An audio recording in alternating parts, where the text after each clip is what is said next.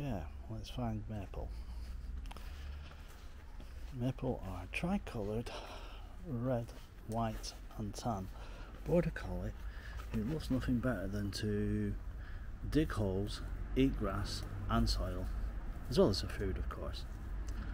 Um, she's eight weeks old, possibly just turned nine. Her name is Maple, that was decided by the whole family. Uh, there was lots of other names, but uh, Maple was one that everybody was happy with. Uh, as you can see, she's uh, she's a busy little dog. Uh, she can learn. She's already learned a number of commands. She's very clever. She's uh, our third border collie,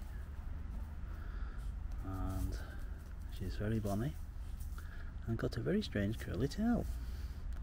And she's very nice. She uh, sleeps still quite a lot, and uh, generally she's well behaved.